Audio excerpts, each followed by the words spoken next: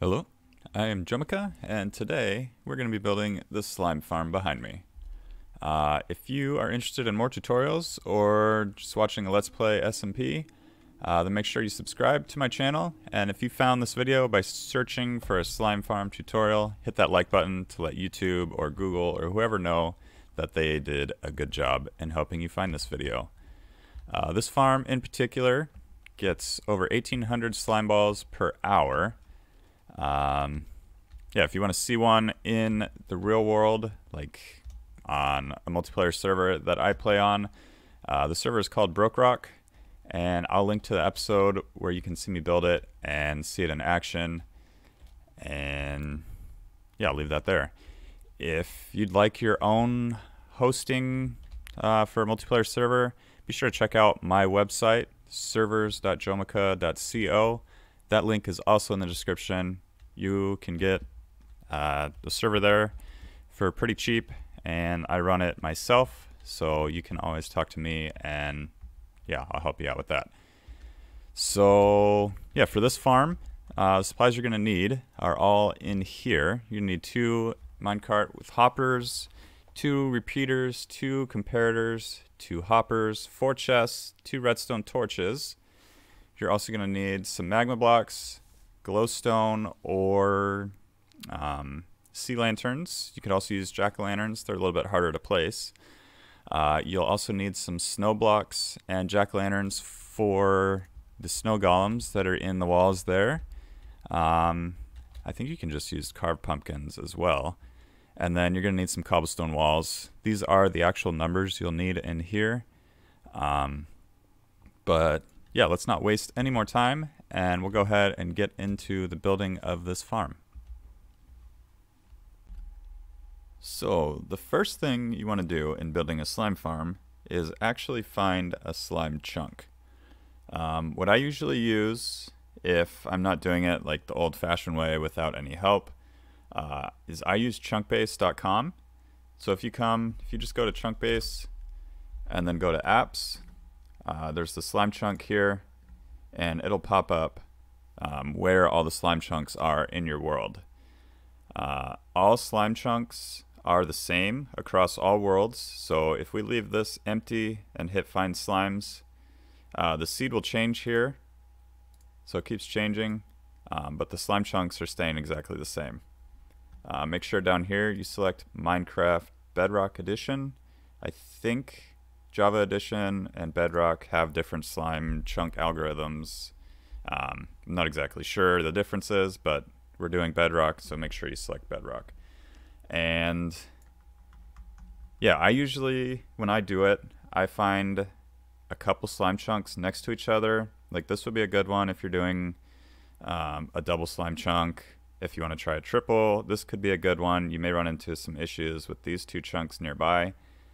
Um, but for this tutorial, we're going to go ahead and use this slime chunk. And that's specifically because there's no other chunks nearby. We could kind of set up our AFK area here, and then we'll activate the farm, and we won't be activating any other slime chunk areas, because if slimes are spawning, let's say you did this one, and your AFK is like here, you're activating all of these slime chunks here, so if there's caves that aren't lit up, or even if they are lit up, um, if they're not filled in, slimes are going to start spawning in here, and then it's going to affect the spawn rates of your farm. So you either want to fill in um, caves so slimes don't spawn in other chunks, or just try to find one that's kind of by itself. So yeah, I'm going to go ahead, go into a world, and we're going to come back to this slime chunk right here and get started. And actually, before we go into the world, the important thing here is these numbers down in this bottom right corner. Um, if you look and we select this, actually, I wanted to do, well, it doesn't matter. Um, but the bottom right there, it says from negative 48 slash negative 46 to negative 33 slash negative 43. So the first two numbers, the negative 48 and negative 64, is the x, and the second two is the z. Um, so basically, you want to find the corner negative 48 and negative 64, and then go to the other corner, negative 33, negative 49. And that will be your chunk square um, that you want to start actually digging out. So I have one already selected. It's somewhere around zero, zero. Um, but we'll just go ahead and go into the world and we'll start to dig that one out. All right, we are in the world. I have marked out the chunk that we are going to be building or digging out. Um, it is 16 by 16. All chunks are 16 by 16. And we're going to be digging out everything, including these little pillars, and then also three uh, extra spaces on the outside. So slimes will be able to spawn inside this area, right in here, all the way over that direction. And then they're going to want to jump off and they need three spaces to do that. So we're going to be building, or sorry, not building. We're going to be digging out three extra spaces on each side all the way down um, so they can just jump off the edges and then fall to your collection area. We don't really have to dig out the top here. If we start at Y42 or so and then dig all the way down to bedrock, that's where all your platforms are going to be. But if you dig straight from the top all the way down, you're going to get better spawn rates because uh, of sky access. If there's sky access, it doesn't count as a cave. There's some weird magic that happens, and the game allows more spawns to, or more slimes to spawn at the top layer. Um, so I'm actually going to dig down straight from the top all the way down to bedrock and I'm going to make this as efficient as I can so you guys can see all the rates and all that stuff. So I'm going to use commands to start digging just because I don't have that many hours to be digging out everything by hand. Um, the important thing with the slime farm is just be prepared to dig for a very long time. So yeah, I'm going to get this dug out and I'll join you back once we have a big hole. So now that we have the hole dug out, we're going to start from the bottom and we're going to start building those platforms, uh, basically spawning platforms for the slime. And we're going to start at y equals 7. Um, you'll go every 3 all the way up, and then the top platform will be y39. So one, two, three. Oh, I forgot I am in creative. Um, so yeah, this will be 6, and then we'll place up here, and then we'll be standing on Y7. So basically two blocks, and you can either use regular smooth stone or smooth stone slabs, basically any slabs or solid block. Um, just if you do use slabs, be aware that in the past, spawning has been kind of broken on them and it's come and gone a few times. So they'll fix it and then the bug will kind of reappear and then it'll go away. And yeah, so if you use regular solid blocks, you'll probably have a better chance of it always working with every update. Um, but if you use uh, regular slabs, then you'll be saving on resources. After digging all this out, you should have plenty of blocks to be able to use. Um, but if you're trying to save blocks, go with slabs. If you're trying to make it so it doesn't break uh, or has a less chance of breaking in the future, I would go with solid blocks. Um, but today we're going to go with just slabs just because, no real reason. Um, and yeah, so you want to do one platform here, and then you want to go one, two, three, and then the fourth one. Is that right? Yeah, the fourth one, you'll be placing another row.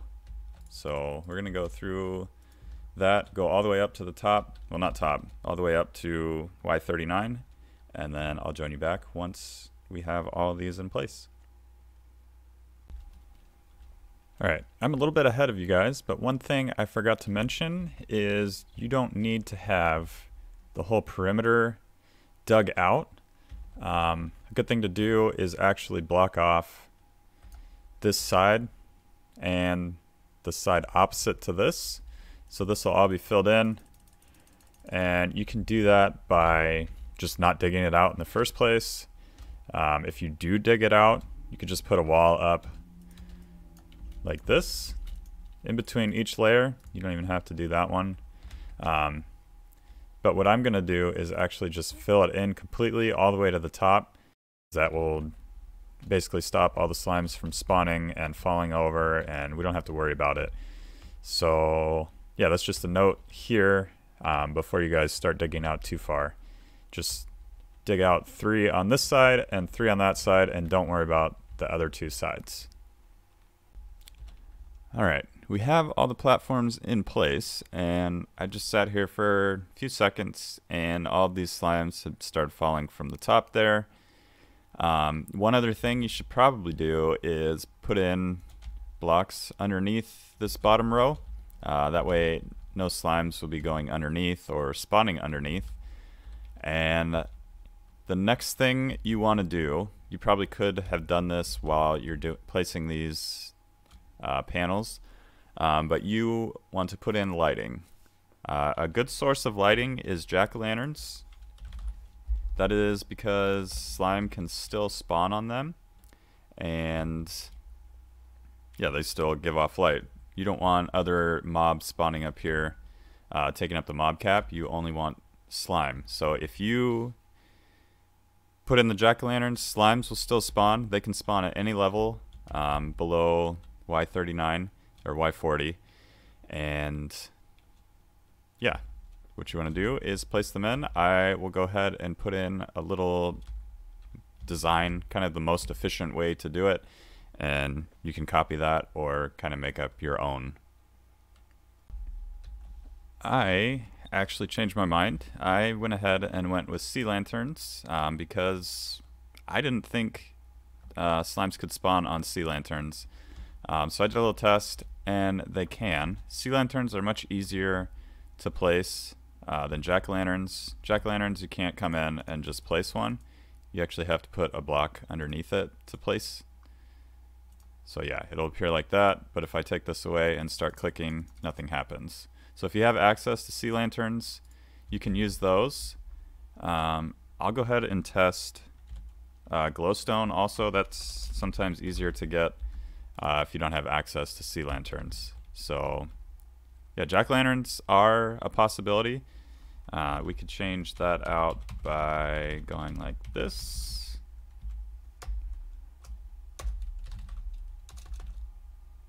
Actually, we'll just do glowstone because I don't know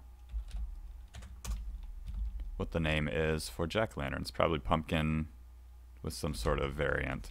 Um, but yeah, as you can see, glowstone also works. You can place that and they'll spawn. Um, so yeah, I'm going to make the little design to be the most efficient. If you want to place all these, you can. Um, but that's going to be a big waste of glowstone or sea lanterns. There's a much more efficient way where you can use, I think it's eight uh, sea lanterns or glowstone per level instead of, I don't know, 64 per level. So I'll go ahead and get that in place and show you guys what it looks like and you can use whatever design you want. Alright, so here is the design. Uh, first we'll go to the top here just so it's easier to count. Um, but you really want to just come from the center here. So these four are the center. You can count from the corners here. One, two, three, four, five, six, seven, eight. And then this is also eight from that corner. Uh, you want to go out to basically here. Uh, if you want to pause it right now and take a look, you can kind of see the design that you want to go with. Um, we can also get rid of those. That is just for kind of easier placement. Um, but that is the design you want. Nothing will spawn there other than slime.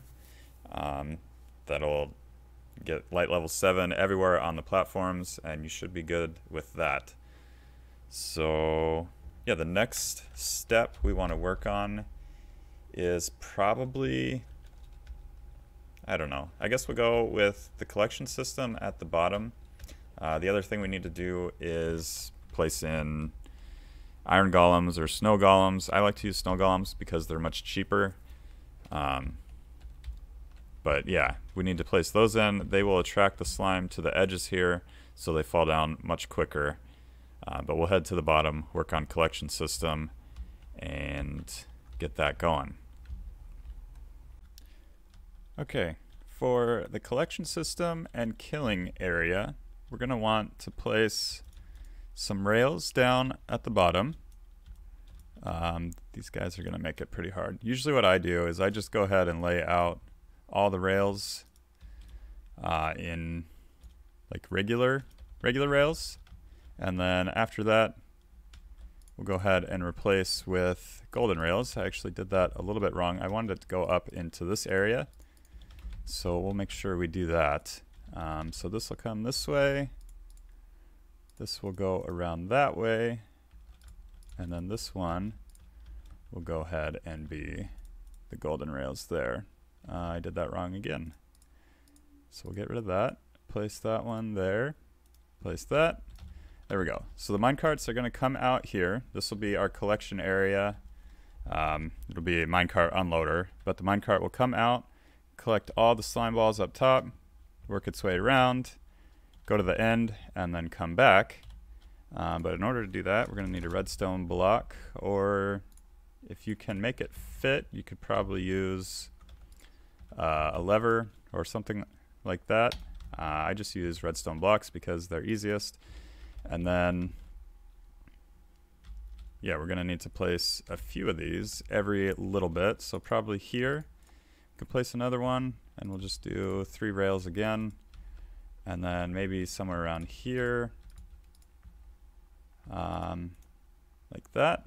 May be a good idea to actually start with from the bottom, do the collection and everything first, and then work your way up, just because there's a lot of these guys here. But if you want to get the slime while you're going, um, you could start with the platforms and then they'll come down, you could kill them, and they won't be the big huge guys by the time they get down to the bottom. Um, so let's go ahead and test a minecart. And we just want to make sure that this comes out and has enough momentum to go all the way through. Uh, we'll go ahead and place that there and we'll go like that. So it looks like it is going to have enough momentum to make it all the way across. Uh, the next thing we're going to want to do is fill this in with magma blocks. Um, I found this to be the easiest way to collect everything and do all that. I've done in the past. Uh, I've used cactus and water streams, and that just ends up being a lot of work. Um, you end up saving some supplies, but I think the work involved is much better to be using minecart and magma blocks. Um, you do want to do the same thing on this side. Uh, you could probably have it just go up here, and then we will probably just dig out a little area here. That's usually what I do uh, to both sides so you can get to both collection areas uh, easily and then like some sort of water stream elevator for you to get up and down. Um, we're probably just gonna leave that there. Uh, that's really up to you how you want to get up and down but yeah the next thing is the actual minecart unloader. So we'll go ahead and build that now. I'm gonna get the supplies for that and we can get that built up and I'll show you how that works. Alright, the first thing you want to do for the minecart unloader is place a chest. Uh, we're going to use double chest here. We want the hopper going into that and then we are going to have um, rails coming around the corner here and then this guy up top is going to be a powered rail. Next to that hopper, we're going to place a block. We're going to break out some of these just to make things easier. Uh, we're going to place a block here, one above, one below, and one above again. Uh, in this is going to be redstone type things. Actually, I did this wrong. We're going to replace this powered rail with a regular rail and place powered rail over one. Uh, next thing we need is a comparator, which I did not have. So we can go ahead and get that out and we'll place comparator in here. Uh, that will read the contents of that hopper. So anytime there's something in the hopper, it'll power that. Uh, next thing we want is a torch right there. So when that's powered, it'll activate this block, turning the torch off. And then we'll place the repeater here. And that can just stay on one tick. So when that's off, that rail will stay off, meaning that hopper minecart will stay. As soon as that's empty, this will turn off, that repeater will turn on, it'll power that rail, and that guy can go out and do his thing. So he's just going to collect some of the slime balls that are out there. We'll wait for him to get back. He's got 41 in there. He's unloading. This will get filled up, and then he'll go off again as soon as that is full. Um, we can go ahead and close off this area. We don't actually need to go in there, um, at least not from the outside. So then we'll come down here, go in, and this is all closed off. We can go ahead and place some torches just to light it up. We don't want anything spawning in here. Um, so yeah, you want to do that on both sides, the whole killing system and item collection. We'll go. I'll go ahead and finish that up on this side, get it all done, and then we can come back and try to get these guys off of the platforms as fast as possible. So now we build uh, snow golems. So when the slimes see them, they'll hurry over, try to get to them, and then die on the magma blocks. Um, you want to put a row of them all the way up on both sides. So I've already done this side. You can take a look here. This is just kind of the pattern I've found to work best. Uh, if we go to the other side, you want to put it right in the middle. So it's going to be too wide right here. We're going to build, dig out two all the way up. Um, yeah, so two deep, two wide, all the way up to the top there. And then we're going to raise up by one. So we'll put glowstone or some sort of light source in there. That way nothing spawns in with the snow golem and yeah, they can be lit up and it'll be fine. So we'll go down here, break that again, and we just want to make sure that everything can actually die. So we'll put in two more magma blocks right in there and fence posts. So anything that lands up against here should most likely get picked up um, by the minecarts. It won't always be picked up, but it's not that big of a deal. We need snow blocks and jack-o'-lanterns, uh, fence posts, and the glowstone. So we'll go ahead and do that. And then above him, it's going to be every three or fourth block, I guess. So there'll be a three block gap in between. So one, two, three, and then on the fourth we'll place that. And we're going to do that all the way up. One, two, three, four. One, two, three, four. One, two, three, four. One, two, three, four. And we want to make sure we do that all the way to the top layer. Uh, so it looks like maybe one more. One, two, three, four. Just make sure we got that right. And yep, that's the top one. So we'll go down to the bottom here again. We're going to go ahead and place in all of our snow. And we actually did pick up that uh, block that was sitting there underneath the fence post. It did not get picked up by the mine carts, but that's not a huge deal. For the most part, we are going to pick up everything. Um, so yeah, down here, we'll put fence posts right above here, so there's only a one wide gap, and nothing is going to get in there with him. And we'll go ahead and do that all the way up. I'm purposely leaving a little gap we're going to have to go down underneath uh, one more time after we get the snow golems in. This is, yeah, the slime farms are one of the harder farms. Not hard, but it just takes a very long time to get everything set up. Um, and then we'll place in blocks here just to fill in, make sure the snow golems don't escape. I've had that happen in uh, on my BrokeRock world where I mined through and they got out and they don't really work if they're not in place. Um, so yeah, we'll get this filled in. I was gonna put a little cut in, but we'll just go ahead and do this on camera. It's not that much left and it's not too hard. Alright, so those guys are all locked in place. Now we can go through and place the pumpkins or jack-o'-lanterns on their head. And then we'll go ahead and place the final fence posts. And that should be a farm complete. So there is a little bit more that needs to be done to make sure that this thing stays efficient. Um, one is probably the most important thing is actually going through and lighting up all the caves.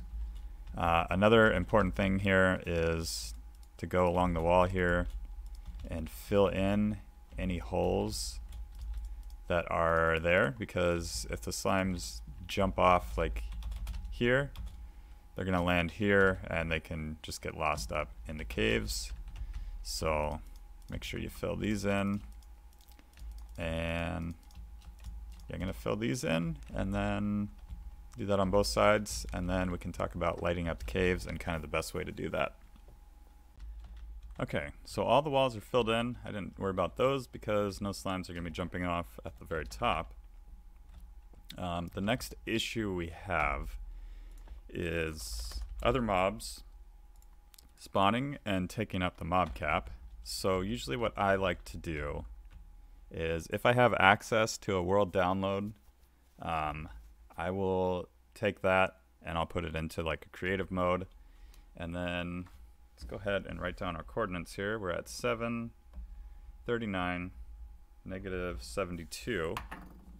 So what I do is I teleport to that coordinate so 739, negative 72.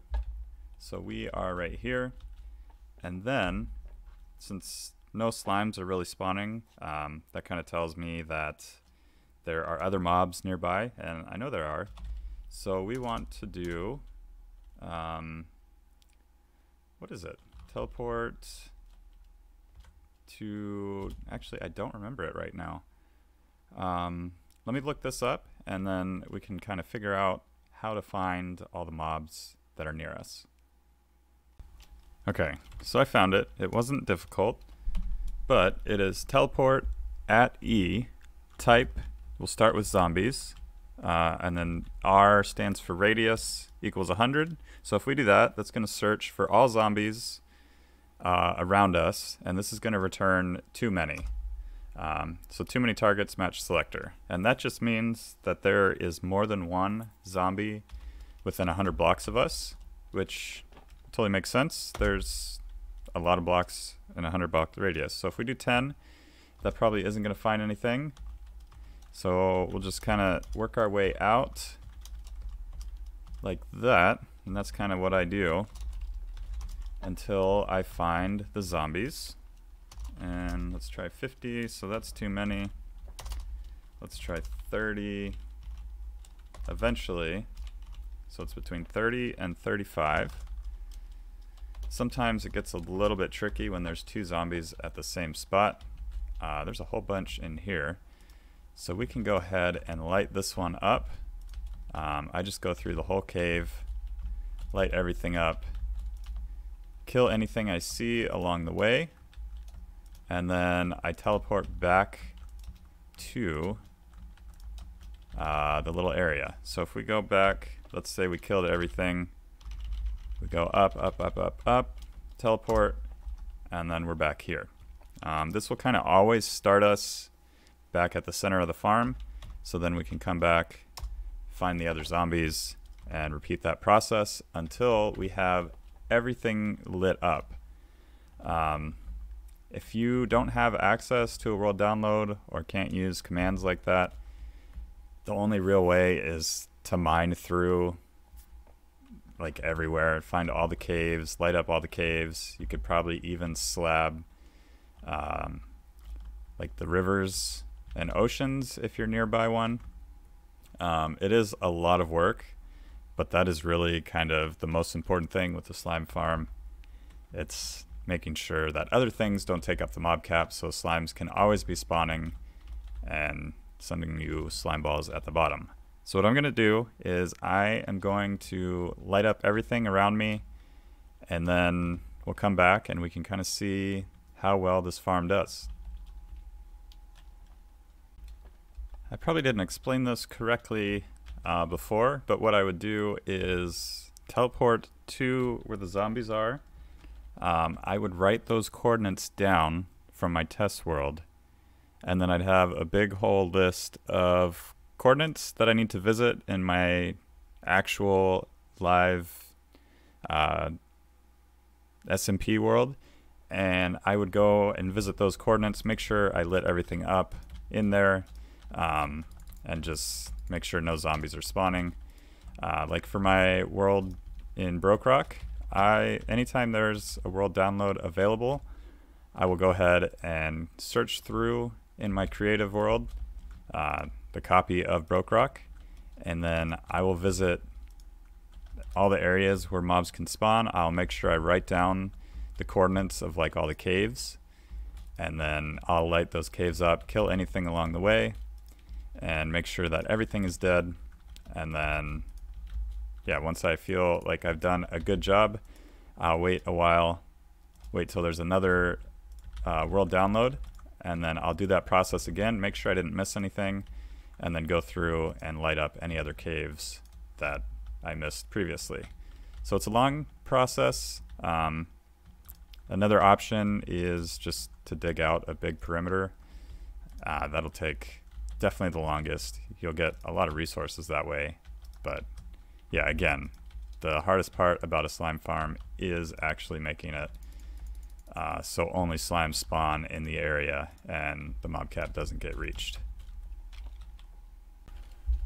Alright, I went ahead and dug out a whole bunch of this so we could see the farm in action. I went through and lit up all the caves, and as you can see, all of the slime are spawning in the slime farm. There aren't any mobs, other mobs around. I've searched, uh, kept finding in within a radius of 100, and I haven't found any, which should be plenty uh, if you clear out that area every couple ticks or whatever when the slimes will spawn. Um, and other mobs, the slimes will spawn first, and that's just because they're the only mobs that can spawn in the area. So we wait here for a little bit, and then the slimes will spawn. They should maybe around one or two per level at the top levels because of the way the spawning's algorithm is set up. It starts at the top and then works its way down. So we can see one guy up there, and there's a couple others. So not too many that time, um, but that's every, I don't know, 10, 20 seconds a group like that spawns. So I just went through and I cleared this out, and yeah, that's about a stack, two stacks on that side, and then half a stack on this side. They seem to prefer this side. We are losing a few to there. Uh, if you really wanted to be efficient, you could just extend this rail to also go underneath this one. Um, I may do that and then yeah we'll go ahead and see how many slime balls we get per hour. Alright, let's go take a look. I swear I just heard the slime. Um, it's been about 20 minutes, so we can probably figure out about what it would be per hour. So it looks like the slime have moved over to the right side instead of the left. Um, so what is that? 64. Oh, let's go into inventory. 1, 2, 3, 4, 5, 6, 7, 8, 9 times 64 plus 35. That's 611 in 20 minutes. So if we times that by 3, that is 1,833 slime balls an hour. So I'd say that's pretty good. Um, yeah, I don't know what that would be um, for slime blocks, but we could figure that out easily. Um, so yeah, let's go ahead and go to the outro. Hello, I am Jomica, and today we're going to be building the slime farm behind me.